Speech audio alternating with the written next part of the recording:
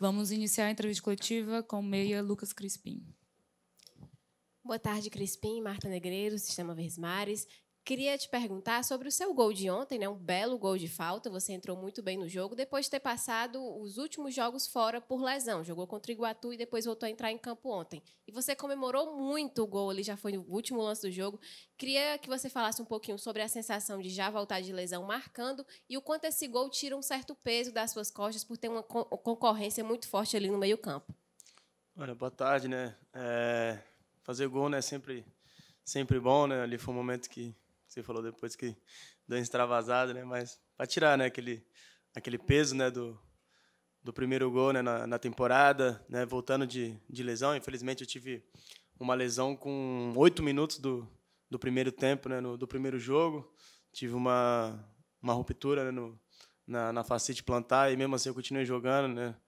Não, não queria sair. Depois a gente fez o exame, foi constatado né, que, eu, que eu rompi a, a facite. Aí fiquei um, uns três, quatro jogos ali de, de fora, mas pude me recuperar bem. É, feliz de estar de volta, feliz em, em fazer gol, é importante né, para a sequência, para ganhar confiança. E mais feliz ainda pelo, pelo resultado, pela forma que foi o jogo, né, o tanto de chances que criamos e conseguimos converter esse gol. O Crispim, boa tarde, Eduardo Trovão, futebolês. O torcedor estava muito ansioso por uma partida como essa de ontem. Não falo só do placar em si, não pela forma como Fortaleza jogou, já tinha feito, não me lembro exatamente qual jogo agora, um ótimo primeiro tempo também, que teve gol anulado, enfim, e o time também não conseguiu finalizar algumas bolas com a mesma eficiência de ontem. Eu quero saber o, o, o que é, é, é, parâmetro esse jogo, o comportamento do Fortaleza, independente do adversário. Eu sei que o time vai pegar adversários muito mais difíceis ao longo da temporada, mas é o parâmetro, é esse Fortaleza, é esse tipo de jogo que o Fortaleza vai apresentar em 2023?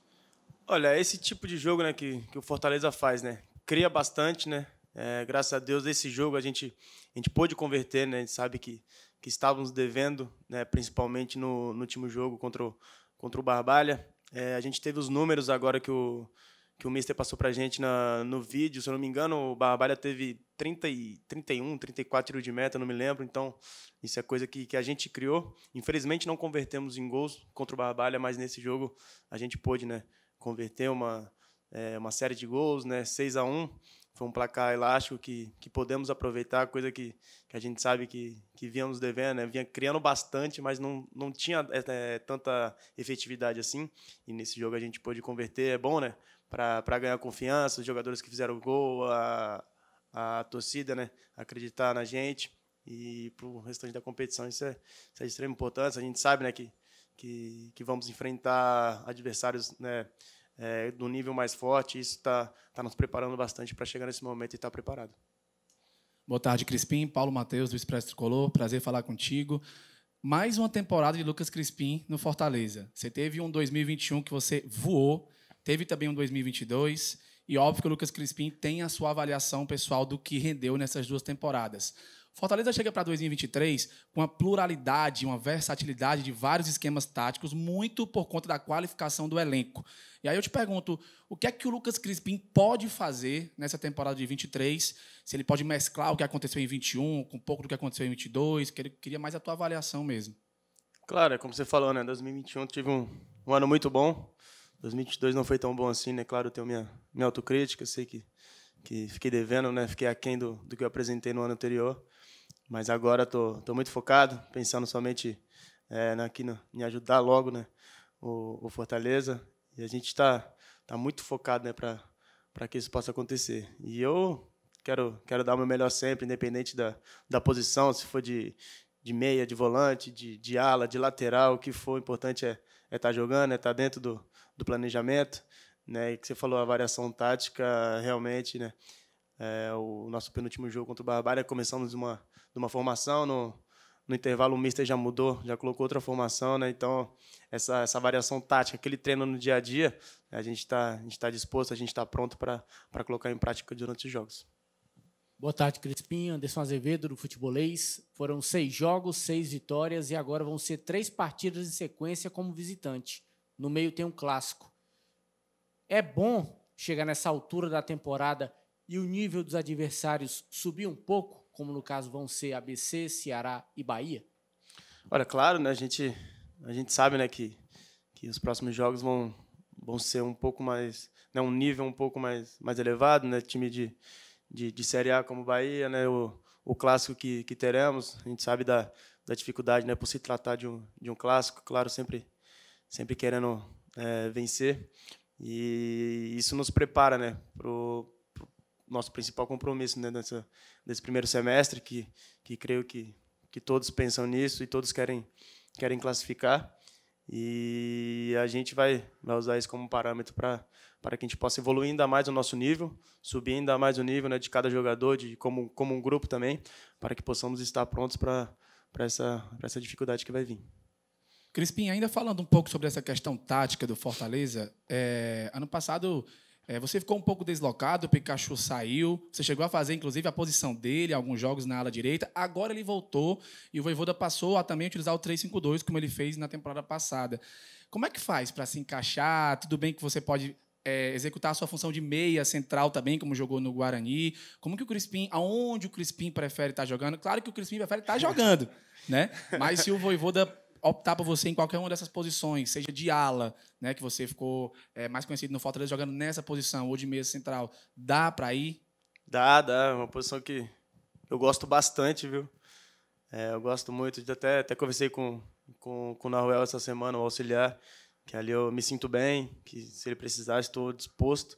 Tanto é que foi o meu primeiro, primeiro jogo né, contra o Iguatu, foi ali que, que eu comecei atuando. Quero jogar ali, independente da, da onde for a posição. O importante é aquela resposta clichê, né? O importante é estar jogando, é importante é estar entre os 11. Mas é claro que todo jogador quer jogar. É, graças a Deus eu sou eu tenho essa versatilidade né, no, no meu jogo. Posso jogar como volante, como meia, como ala, lateral, o que tiver. Estou disposto para estar ajudando o Fortaleza no que precisar. O Crispim, vai chegar aí o jogo com o ABC, né, Copa do Nordeste. E o Fortaleza vem de uma vitória de 6 a 1 no Campeonato Estadual e o ABC também venceu por 6 a 0 o Globo o que esperar desse jogo aí, claro que sempre é muito difícil. E o primeiro jogo também de vocês sem torcida do Fortaleza, né? Não só por ser fora de casa, mas porque também não vai poder o torcedor. Olha, sabe né, que o resultado elástico que, que tivemos né, agora né, tem muita confiança, traz muita confiança para o nosso lado e claro que o resultado positivo deles também, né, de seis, também vai, vai levar muita confiança para eles e vai elevar o nível do jogo. Né? A gente sabe que, que o ABC sempre monta, monta time bom, sempre tem equipe forte, né, é conhecido né, nacionalmente e creio que vai ser um jogo muito disputado, muito difícil. A gente vai estar bem focado para fazer um grande jogo e, e sair de lá vitorioso. Crispim, passando um pouco desse final de semana, né? Vai enfrentar o ABC fora de casa. É, sobre o Clássico Rei, que já é na terça-feira. É um período menor de descanso, digamos assim. E o que é, como o elenco tá visando isso? Eu sei que é passo a passo, cada jogo, mas dá aquele sentimento, aquele frio na barriga, aquela vontade de jogar um clássico e arrebentar? Claro, isso sempre passa na nossa cabeça, né? De, jogar um clássico e bem. Mas agora não é, não é o nosso pensamento para o momento, né? A gente tem uma partida muito difícil no sábado, né? Contra, contra o ABC, que a gente, a gente possa sair de lá vitorioso, mas a gente tem que pensar primeiro nesse, nesse jogo de sábado, né? Que a gente tem um compromisso né, entre nós ali de, de terminar bem né, nessa, nessa primeira fase da Copa do Nordeste, que é muito importante né, para as fases finais né, de decidir em casa, de ter os jogos é, decisivos com a favor da nossa torcida, né? Isso isso nos ajuda bastante. E claro, não tem como, né? Não pensar, a gente sabe que tem tem um clássico é sempre muito importante, né? A rivalidade é muito grande e a gente vai vai sempre querer estar tá ganhando. E sobre o, o elenco, né? Tá aí, acho que difícil, né, ter dois jogos com, com a mesma formação, né? Então o Mister tá tá preparando todo mundo bem, todo mundo confiante. Isso é bom, é bom pro elenco, é bom pro o professor também que dá uma dor de cabeça boa nele, né, para escolher quem escalar, porque todo mundo vem bem, vem jogando bem. Tá? Então, seis vitórias e que possa continuar essa vitória, que a gente possa adiar o mais longe possível né, esse, esse revés.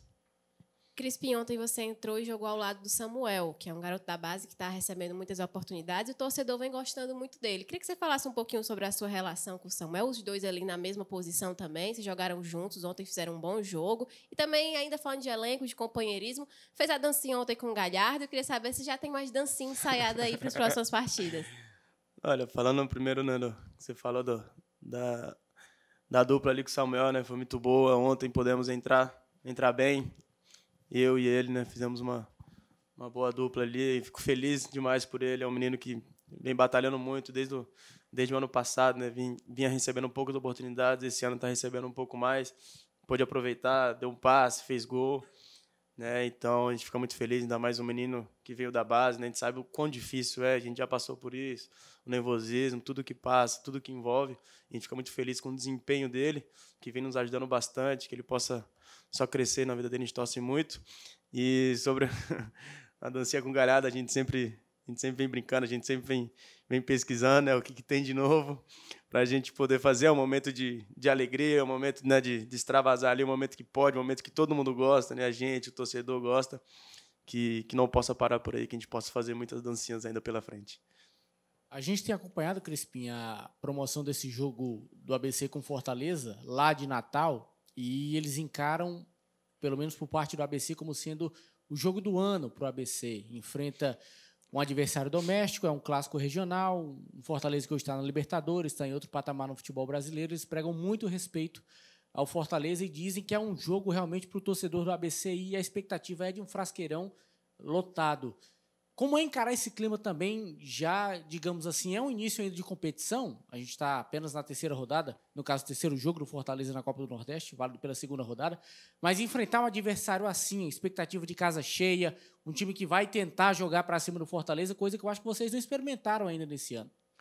É, a gente sabe, né, da, da força, né, que, que eles têm dentro de casa, né, o, o frasqueirão ali, lembra um pouco, né, o, o PV ali, né, mais, mais curtinho, a torcida mais perto ali empurrando, que possa ter um, ter um jogo com, com estádio cheio, casa lotada, e a gente, é, é um bom nível, né, para gente, a gente aproveitar, para que possamos é, elevar também o nosso nível, para que a gente possa sair com, com essa vitória. Jogar lá é muito difícil, cara.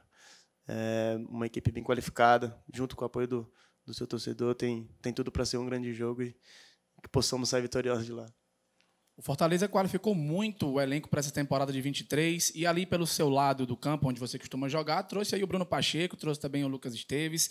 Que é que o Crispim pôde passar um pouco para esses caras que chegaram agora? No passado tinha o Capixaba, né, que também fez uma boa temporada. E se você puder falar um pouquinho sobre aquele que para nós pode ser o jogo do ano, que é contra o Deportivo Maldonado na Libertadores, daqui a pouco está chegando. Queria que você falasse um pouquinho sobre isso. Olha, é... o Mister né, passa, passa confiança para todos, né? Os jogadores que chegaram novos, no caso que você citou, né, que estão na mesma posição ali, o, o Esteves, o Pacheco, né, são jogadores de altíssima qualidade, que subiram, né, elevaram o nível do elenco. É, isso é bom para todos, é bom para o clube, é bom para a diretoria, para o técnico que, que tem mais opções ali que, que ele possa escalar e que ele, que ele resolva ali o que, o que tem de melhor.